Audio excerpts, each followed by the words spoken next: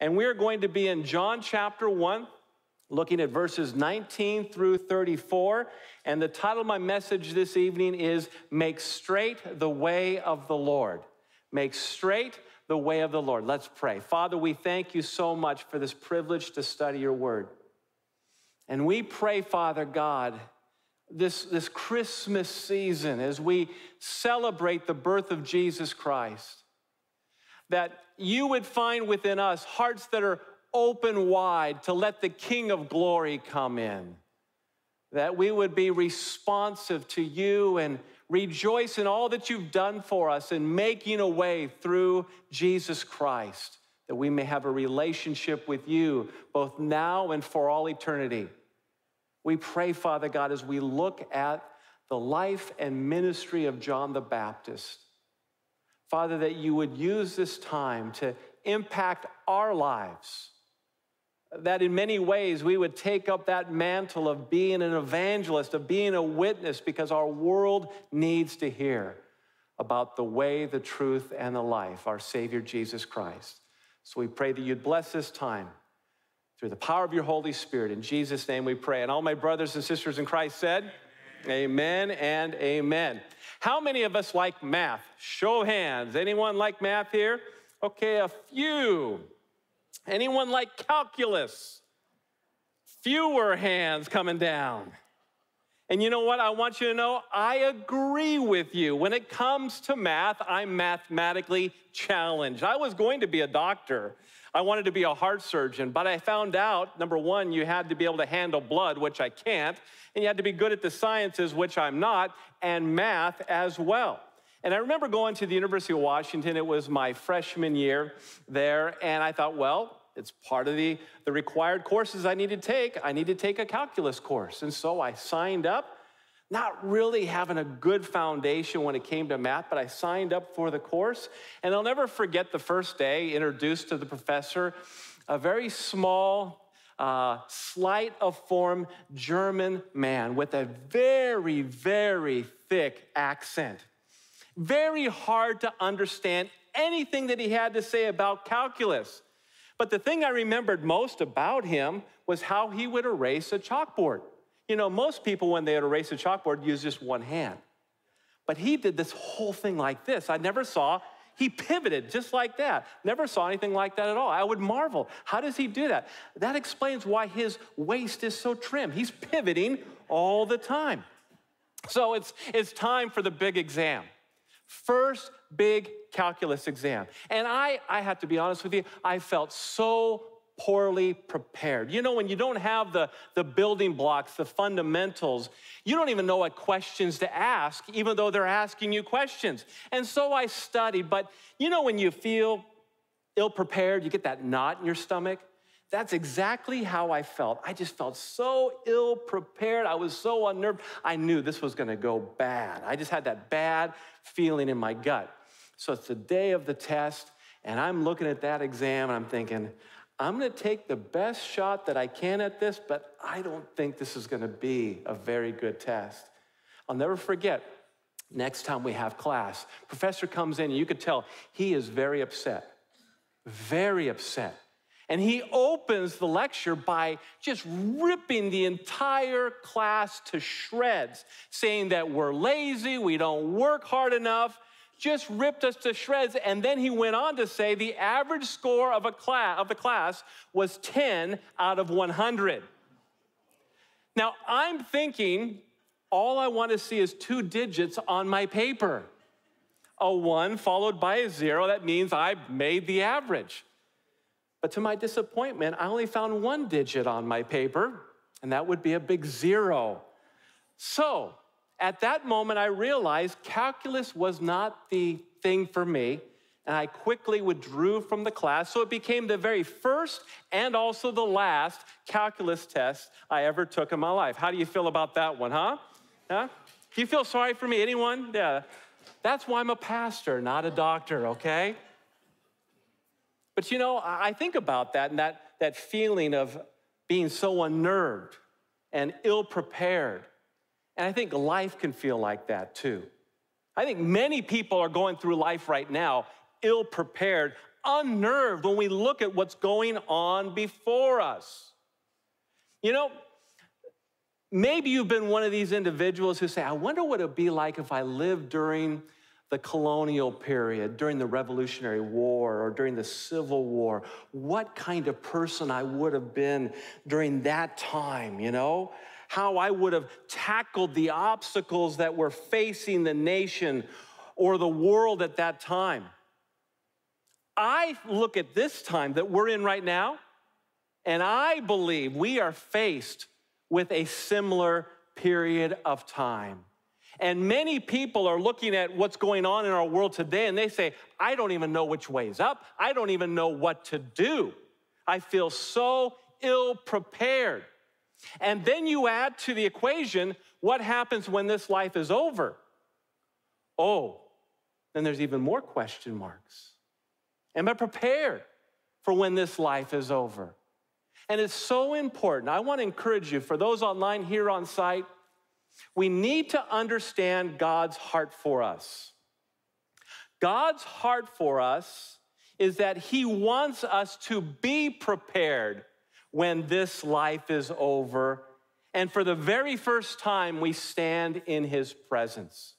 In fact, in John chapter 1, verses 19 through 34, we will discover what God has already done to help us prepare for that moment how he, he has, in essence, made straight the way to heaven so that we will be ready and joyful when we behold God for the very first time. Let's begin in John chapter 1, verse 19. This is the testimony of John when the Jews sent to him priests and Levites from Jerusalem to ask him, Who are you? And he confessed and did not deny, but confessed, I am not the Christ. They asked him, What then? Are you Elijah? He said, I am not. Are you the prophet? And he answered, No. Then they said to him, Who are you, so that we may give an answer to those who sent us? What do you say about yourself? He said, I am a voice of one crying in the wilderness. Make straight the way of the Lord, as Isaiah the prophet said. Now, they had been sent from the Pharisees. They asked him and said to him, Why then are you baptizing if you're not the Christ, nor Elijah, nor the prophet? John answered them, saying, I baptize in water, but among you stands one whom you do not know. It is he who comes after me, the thong of whose sandal I am not worthy to untie. These things took place in Bethany beyond the Jordan where John was baptizing. Verse 29. The next day he saw Jesus coming to him and said, Behold, the Lamb of God who takes away the sin of the world.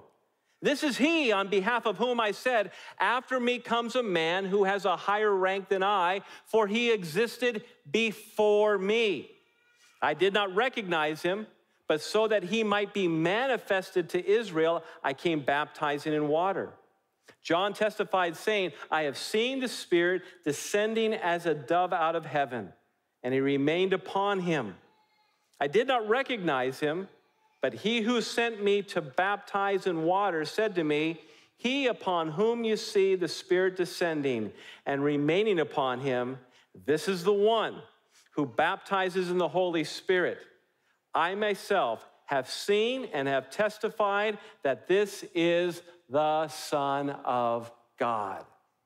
Now, two weeks ago, we started a new study through the Gospel of John.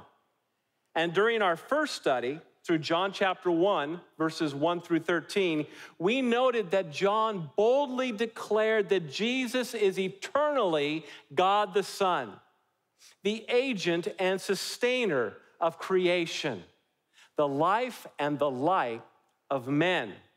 Then, during our study last week in John chapter 1, verses 14 through 18, we noted that John also declared that Jesus Christ is fully human. John 1:14 says, "And the word became flesh and dwelt among us."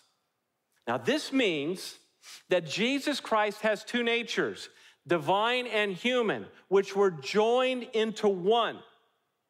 into one being so that he's fully God and fully man. This doctrine is called the hypostatic union, the joining together of Jesus' two natures.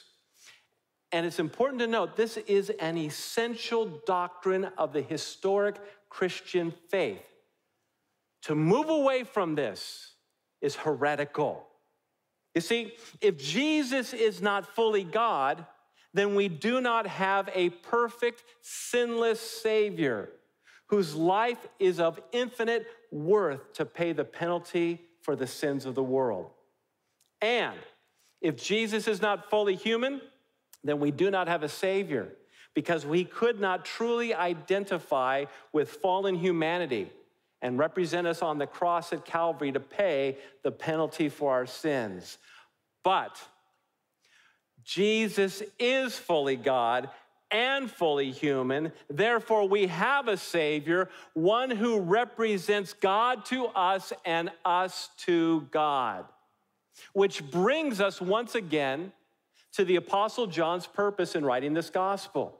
John chapter 20, verse 31 states, But these things have been written so that you may believe that Jesus is the Christ, the Son of God, and that believing you may have life in his name. John recorded the works and the words of Jesus Christ so that all may read and come to the conclusion that Jesus is the Savior of the world, the Messiah, the Son of God, and that by believing, by placing their faith in Him for the salvation of their souls, they may have eternal life in His name. Well, in keeping with the purpose of His gospel, John next introduces us to the first of seven eyewitnesses in his gospel who testify that Jesus is the Son of God. His name was John the Baptist. And John the Baptist is a unique figure in the Bible because he's mentioned in all four gospel accounts. So it's important for us to understand who he is because he plays such a significant role in the Gospels. It's important for us to understand who John was and also understand his testimony about Jesus Christ. And for those who are taking notes, first, when it comes to who John the Baptist was, it's important to note that John prepared the way for Messiah. John prepared the way for Messiah. Now, what I want to do is step back. I want to give us an overview of Scripture.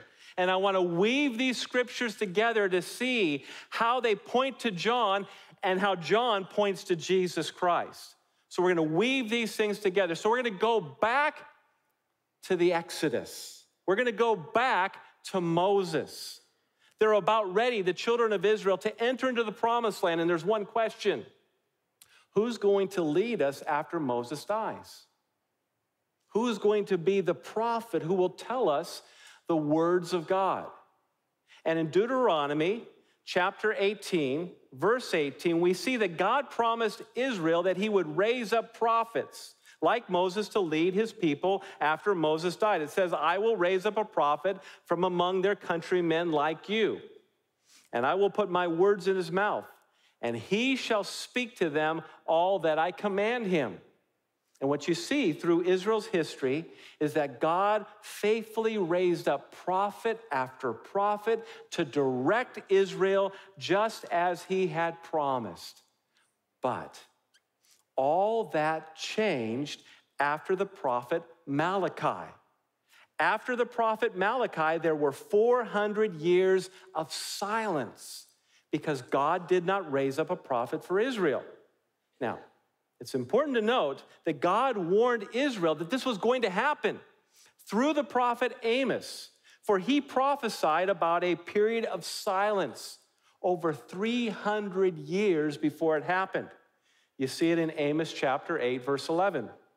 Behold, days are coming, declares the Lord God, when I will send a famine on the land, not a famine for bread or a thirst for water but rather for hearing the words of the Lord.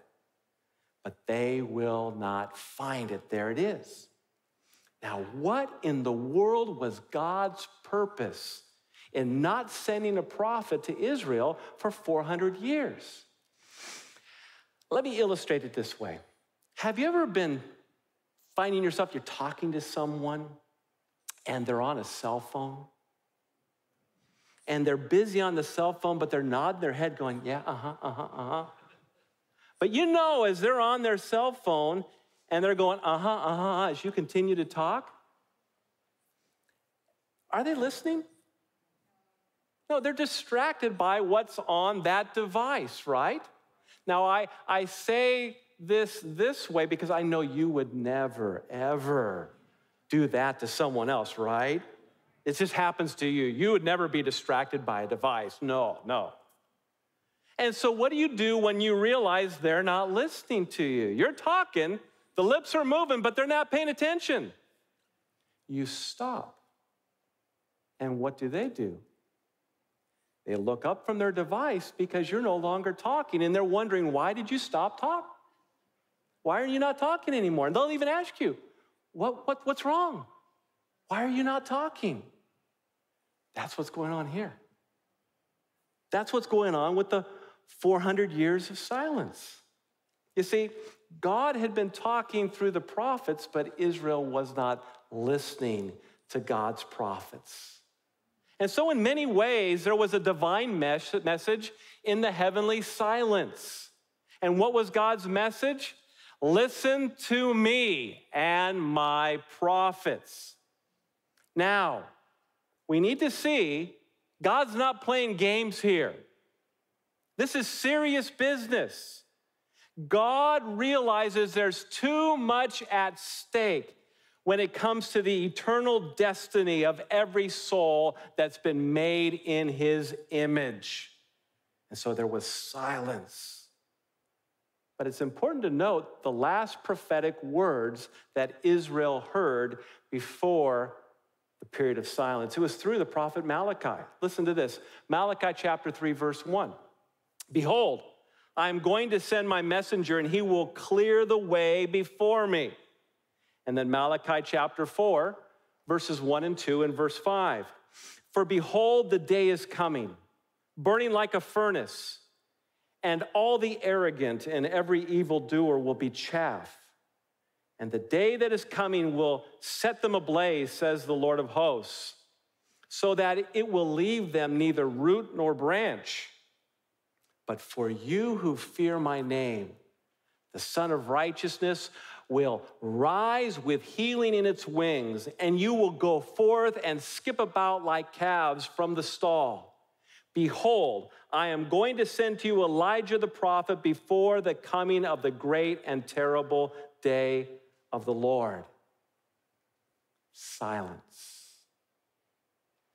And then, after 400 years, a man dressed in a garment of camel hair with a leather belt fastened around his waist, whose diet consisted of locusts and wild honey, appeared on the scene. Matthew chapter 3, verse 4 says, Now John himself had a garment of camel's hair and a leather belt around his waist, and his food was locusts and wild honey. Now, first question why the diet?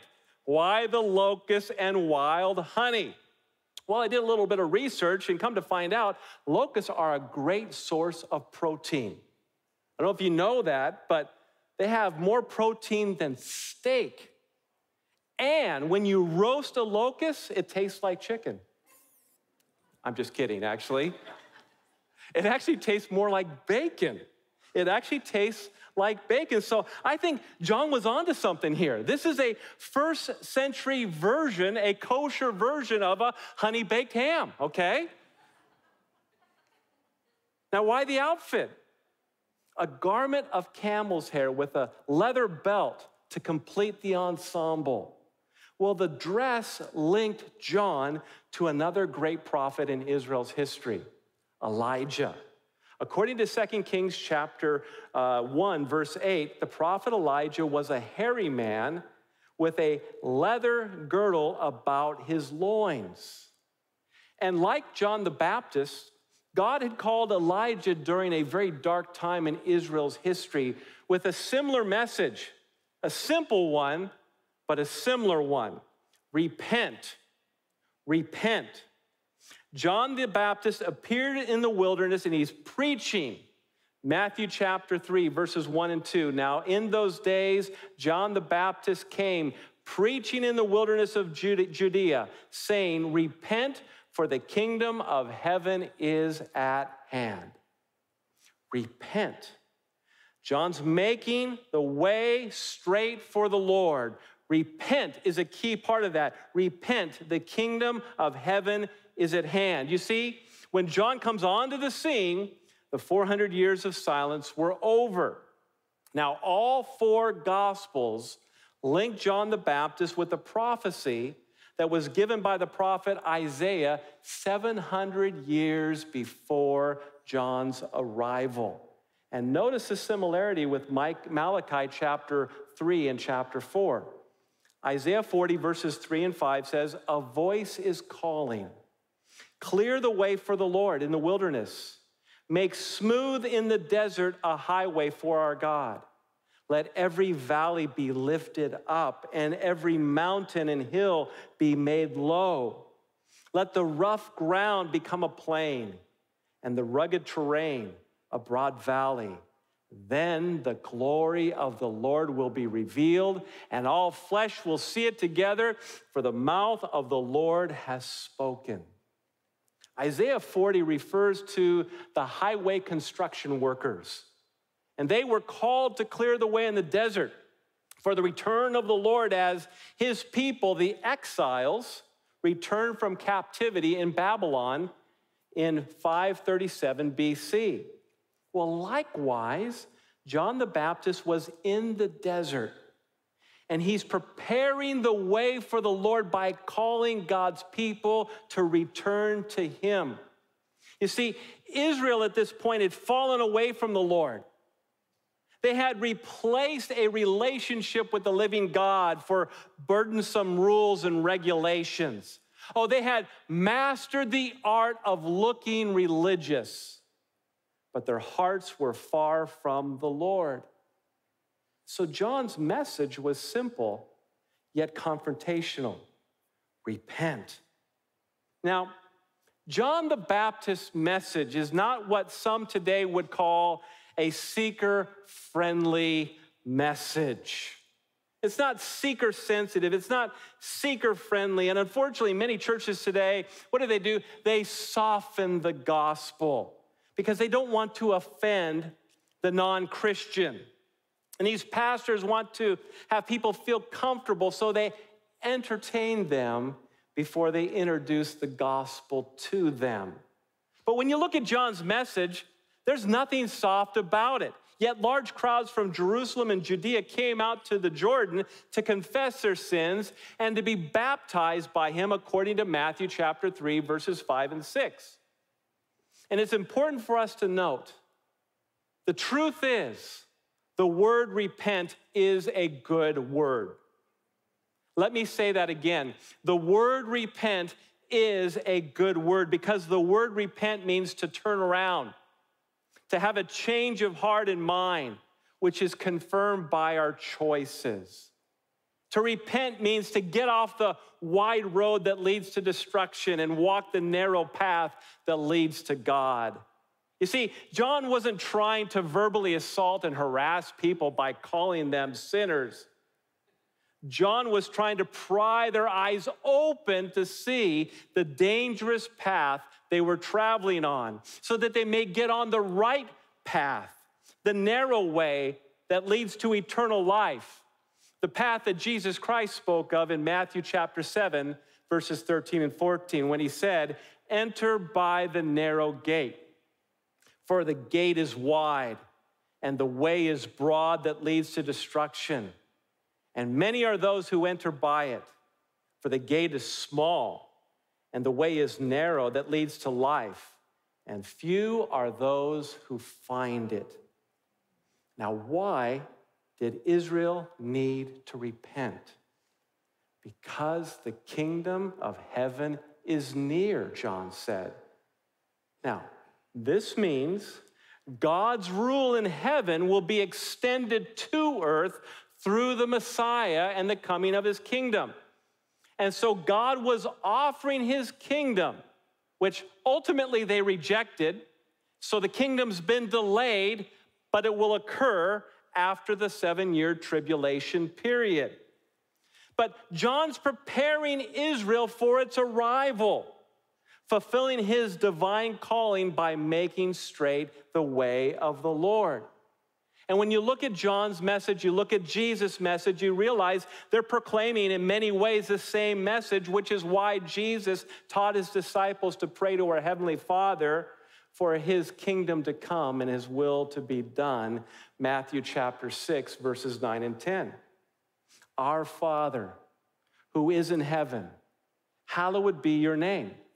Your kingdom come.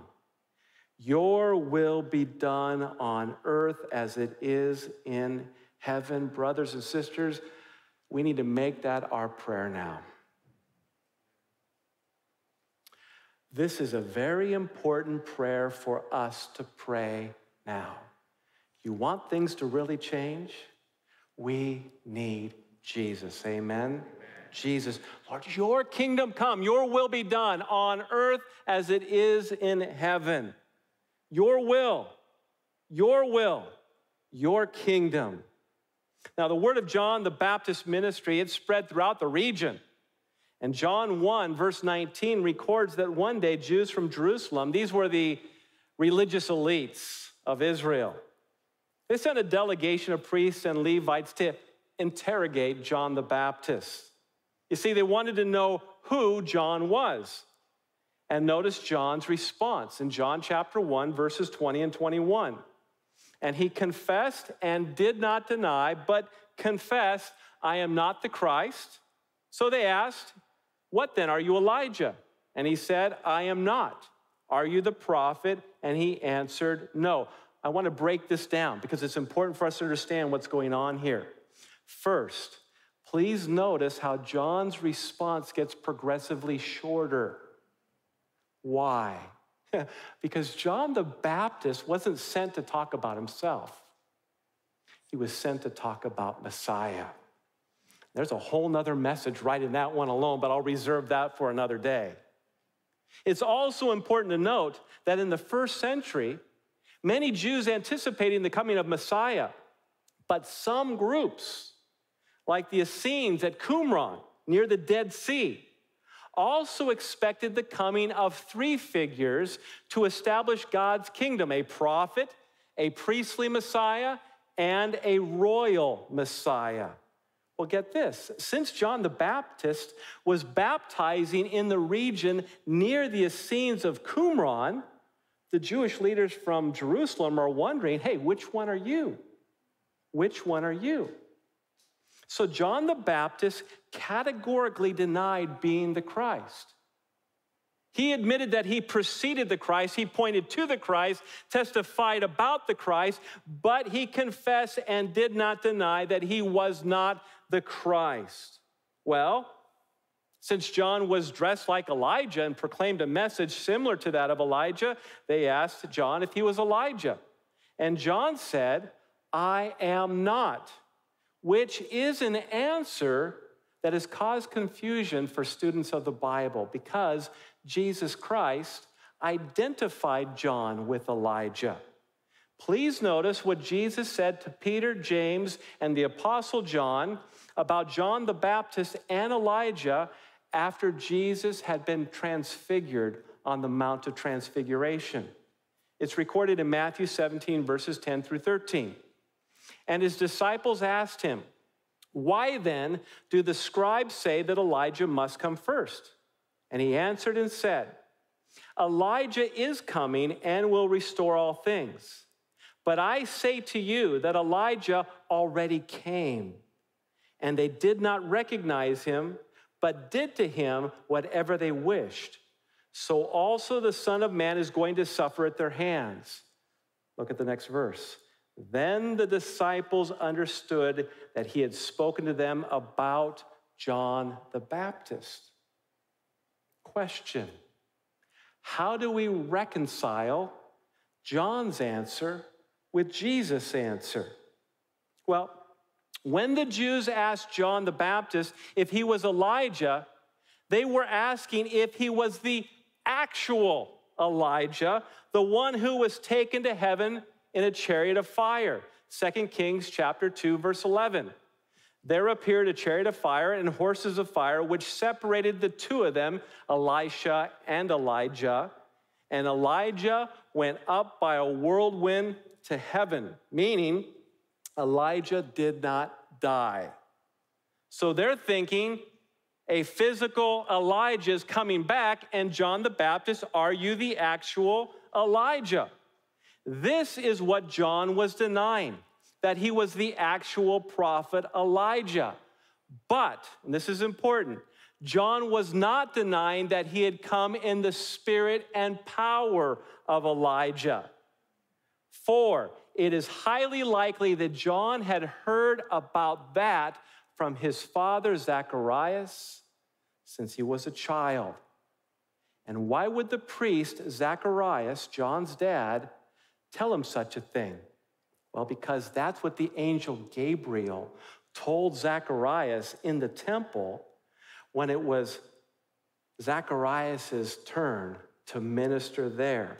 Luke chapter 1, verse 13, 16, and 17 records the conversation. But the angel said to him, Do not be afraid, Zacharias, for your petition has been heard, and your wife Elizabeth will bear you a son. And you will give him the name John. And he will turn many of the sons of Israel back to the Lord their God. It is he who will go as a forerunner before him here it is in the spirit and power of Elijah to turn the hearts of the fathers back to the children and the disobedient to the attitude of the righteous, so as to make ready a people prepared for the Lord. So, Jesus and John were denying and affirming the same things. That John the Baptist was not the actual Elijah, the prophet, but that John the Baptist had come in the spirit and power of Elijah. Well, number three, who then is the prophet? The prophet they are referring to is mentioned in Deuteronomy chapter 18, verse 15. The Lord your God will raise up for you a prophet like me among you from your countrymen, you shall listen to him. This is Moses before the children of Israel entered into the promised land. Now, at this time, it was widely held and wrongly believed that the prophet who would ultimately fulfill Deuteronomy 18, verse 15, was separate from the Messiah. But remember the principle I shared with you in the past we understand the Old Testament in light of the New Testament. And so Peter brings clarification about who the prophet of Deuteronomy 18, verse 15 is. He declared that Jesus Christ is the prophet spoken of by Moses in Deuteronomy 18, verse 15. Notice this Acts 3, verses 19 and 20 through 22. Therefore, repent and return so that your sins may be wiped away, in order that times of refreshing may come from the presence of the Lord, and that he may send Jesus, the Christ appointed for you, whom heaven must receive until the period of restoration of all things about which God spoke by the mouth of his holy prophets from ancient time. Moses said, Now look at this. The Lord God will raise up for you a prophet like me from your brethren.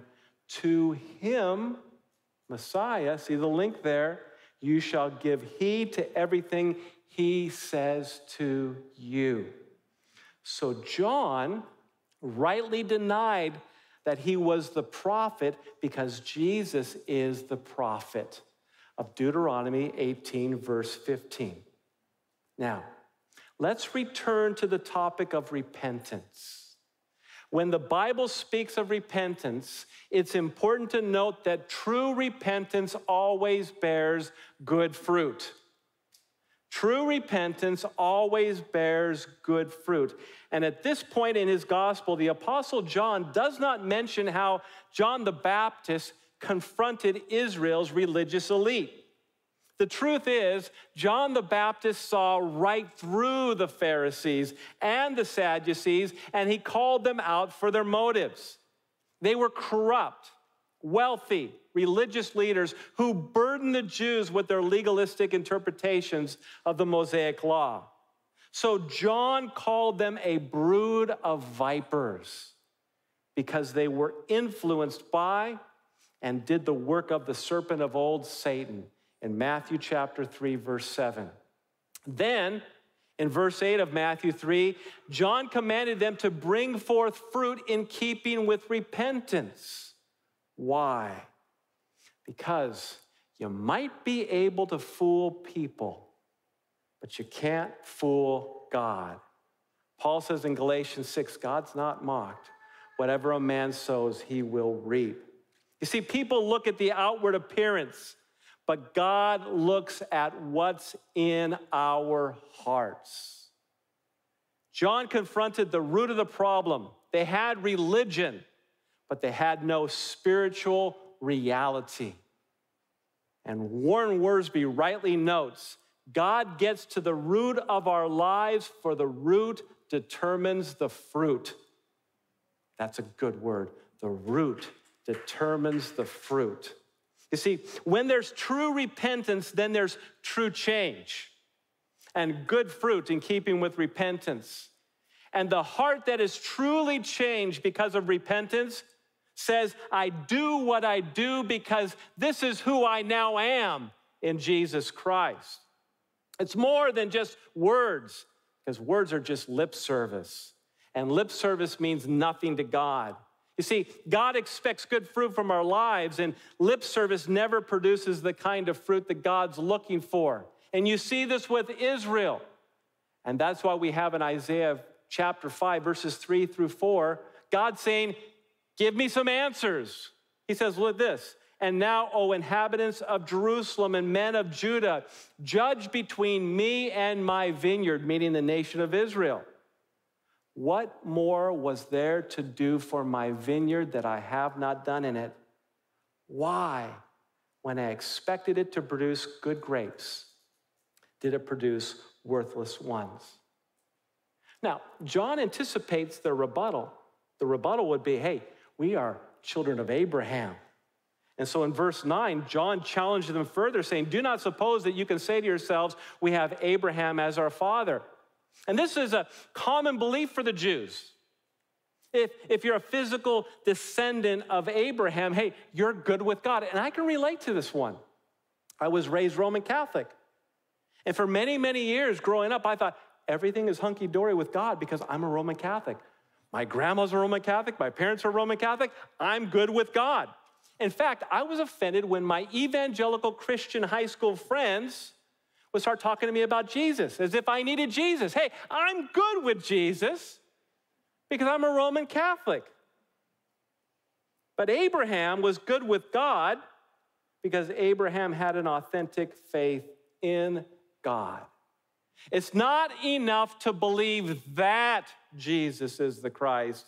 We must personally ask him to be our Savior for the forgiveness of our sins and the salvation of our souls. That's why Paul wrote in Galatians 3, verses 6 and 7 Even so, Abraham believed God, and it was reckoned to him as righteousness. Therefore, be sure that it is those who are of faith who are sons of Abraham. You see, you can't get right with God by hitchhiking a ride on someone else's faith. Each person must have their own relationship with God by receiving the forgiveness of their sins and by placing their faith in Jesus Christ. God does not have grandkids. Next, it's important to say a word about baptism. The Bible makes it clear that everyone will be baptized. Let me explain to you what I mean.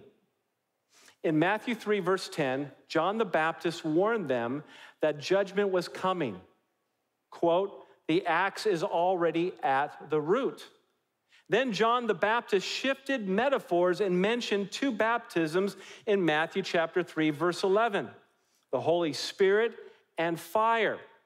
Now, in John chapter 1, verse 33, John only mentions one baptism, the baptism in the Holy Spirit. But it's important to note the second baptism mentioned in Matthew's gospel, that of fire. It reads this way As for me, I baptize you with water for repentance, but he who is coming after me is mightier than I, and I am not fit to remove his sandals. He will baptize you with the Holy Spirit and fire. Let's break this down. Jesus Christ promised to send the Holy Spirit after he ascended to heaven and was seated at the right hand of the Father. Acts chapter 1, verse 8. But you shall receive power when the Holy Spirit has come upon you, and you shall be my witnesses both in Jerusalem and in all Judea and Samaria and even to the remotest part of the earth. And this baptism of the Holy Spirit was fulfilled on the day of Pentecost when the Holy Spirit came upon the disciples in the upper room and that day marked the beginning of the church age. God's Spirit was no longer with God's people, He was indwelling God's people. And now the Holy Spirit is given to all the moment they place their faith in Jesus Christ for salvation.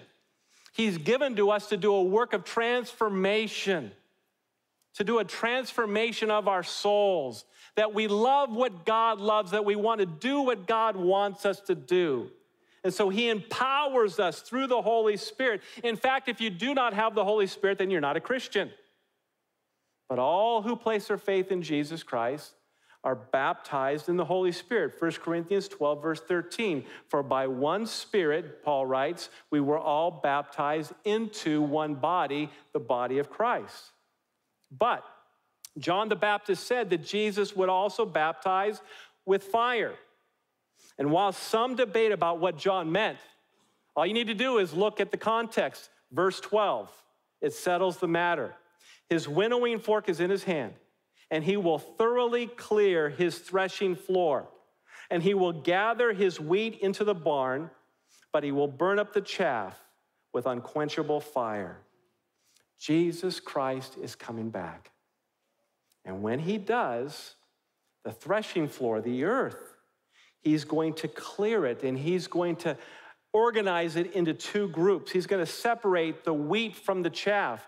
The wheat are Christians, the chaff are non Christians. The wheat are brought into the barn, meaning God's presence for all eternity, and the chaff will be burned in fire, meaning the lake of fire. Here's the point everyone's going to be baptized. Either with the Holy Spirit because they've trusted in Jesus Christ for their salvation, or eternal fire because they've rejected Jesus Christ's offer for salvation. The choice is yours. For those who are here, online, or who will watch later online, if you haven't settled the matter yet, I beg you in the name of Jesus Christ to receive him as your Savior, to believe in your heart, and to confess with your mouth that Jesus is Lord for the salvation of your souls, for the forgiveness of your sin. All you need to do is believe, trust, ask, and you will be saved. Settle the matter now. It's of utmost importance. John the Baptist was called to make straight the way of the Lord so that people were prepared to hear the good news that Jesus was going to proclaim.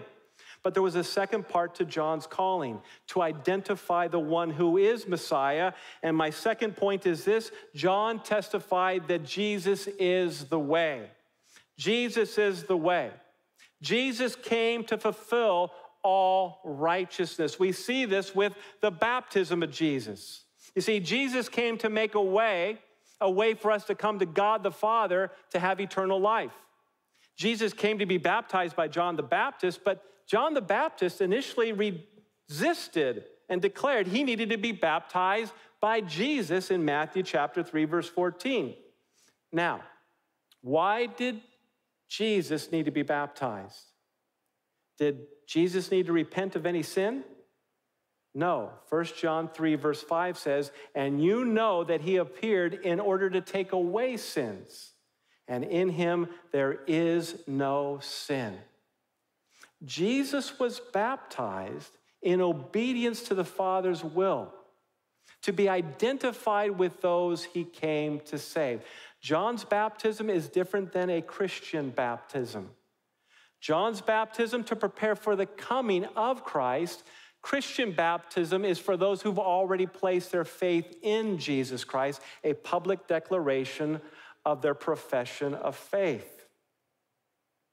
Jesus identified with sinful humanity to make a way between a holy God and a sinful people. And that's why the Apostle Paul wrote in Romans chapter 8, verses 3 through 4 For what the law could not do, weak as it was through the flesh, God did, sending his own Son in the likeness of sinful flesh and as an offering for sin.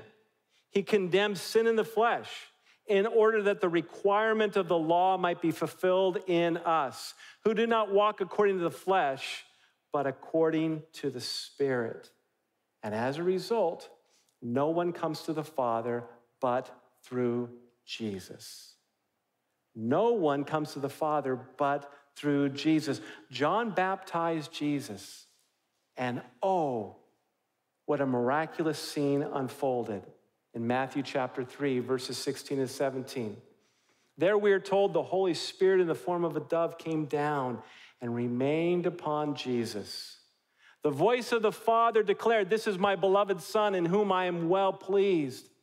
Here you have the Trinity clearly seen in this passage God the Father, God the Son, God the Holy Spirit, one God in three co equal, coexistent persons. This authentication from heaven confirmed that Jesus is the Messiah, the one who makes a way to the Father. And John also testified Jesus is Messiah, the Son of God after the baptism were brought to John chapter 1, verses 32 and 34, and notice what John declares. He testified, saying, I've seen the Spirit descending as a dove out of heaven, and he remained upon him. I did not recognize him, but he who sent me to baptize in water said to me, He upon whom you see the Spirit descending and remaining upon him, this is the one who baptizes in the Holy Spirit. I myself have seen and have testified that this is the Son of God. I've seen, I've testified. Jesus is the Son of God. What's the point? That there's only one way to have a relationship with God. And my friends, Jesus is it. And that's why he said in John 14, verse 6, I am the way and the truth and the life. No one comes to the Father but through me. Now, some may feel like that's exclusive. Why in the world is Jesus Christ the only way to the Father? Because as John the Baptist said, Jesus is the Lamb of God.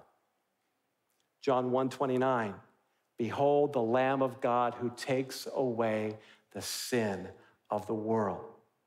Going back to what I said earlier, fully God, fully man had to be fully God so that his life was of infinite worth to pay the penalty for the sin of all who would trust in him. But fully man, in order to identify with sinful humanity and build a bridge between a holy God and a sinful people. Now, we've been talking about the past. I want to jump ahead to the future. You see, one day, when all the saints stand before God's throne in heaven, we are going to worship Jesus, the Lamb of God, who takes away the sin of the world. And I want to share with you the worship song that we are going to sing. Revelation 5, verse 12. Worthy is the Lamb that was slain to receive power and riches and wisdom and might and honor and glory and blessing. That'd be something we should practice right now, huh? That's what we're going to say. Now, as I close, I find it interesting that the early church was called the way in Acts chapter 9, verse 2, before the church was called Christians in Acts chapter 11, verse 26. So, what has Jesus called us the way to do? Well, to share the way, Jesus Christ, the way to the Father with others. And this is the perfect time to do so. This is the perfect time to do so as we celebrate Jesus Christ's birth this Christmas season. But I feel this sense of urgency. I pray you do too. You see, Jesus Christ is coming back.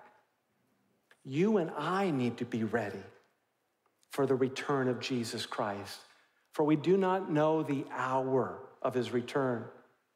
And we need to be faithful servants so that when he appears, he will find us doing what he's called us to do. And oh, I am here to tell you, it will be worth it to hear him say, Well done, good and faithful slave. You were faithful with a few things. I will put you in charge of many things. Enter into the joy of your master. Matthew 25, verse 21. Can we make that our prayer? Can we make that our prayer? Lord, I want to be like John the Baptist, faithful in sharing Jesus with others. People don't need to know a lot about us, they need to know about Jesus. Amen? He is what our world needs now. Let's pray. Father, thank you for this time. Thank you for the example of John the Baptist.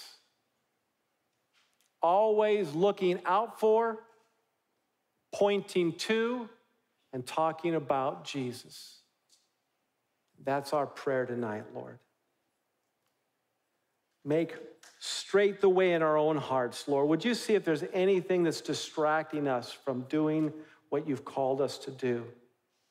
To be like John the Baptist and point people to the way, the truth, and the life, Jesus Christ. Please use us this next season. Please use us, Lord. We are yours. Empower your church, revive your church. May we be bold in our witness. May they see and hear the truth, the love, and the grace of God through us, we pray. In Jesus' name. And all my brothers and sisters in Christ said, Amen. Amen. Can we give thanks to our Lord? Amen. Amen. Let's stand in worship. We're going to close with